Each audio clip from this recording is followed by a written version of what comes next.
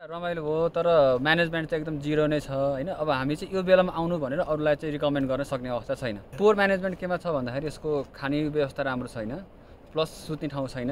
सुत्ने ठाउँ दिँदाखेरि पनि त्यो थुप हामीलाई त्यो थर्पुमा बस्नु दिएको छ त्यसमा पनि अब ओन्ली कुरा छैन।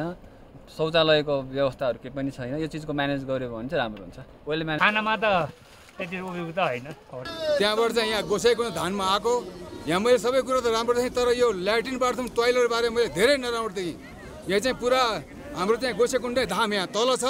त्यहाँभन्दा माथि चाहिँ धेरै फोहोर धेरै फोहोर मैला देख्नको कारणले मैले चाहिँ यो भन्न चाहन्छु हाम्रो नेपाल सरकारलाई। यहाँ चाहिँ ल्याट्रिन बाथरुमको चाहिँ धेरै धेरै चाहिँ उपयो सुविधा गरिदिनु पर्यो। जनता हामी चाहिँ भक्त एक्सपेक्टेसन भनेको चाहिँ अब यहाँ जाने अब यो बेला छ होइन पाहुन अवसरमा घुम्ने अनि त्यसपछि भगवान्को दर्शन पनि गर्ने भन्ने अवस्था थियो। एक्सपेक्टेसन त्यो अनुसारको थियो तर रियालिटीमा चाहिँ कस्तो भइदियो भन्दाखेरि एकदमै पोर म्यानेजमेन्ट थियो। त्यसले गर्दा अलिक अप्ठ्यारो भयो हामीलाई।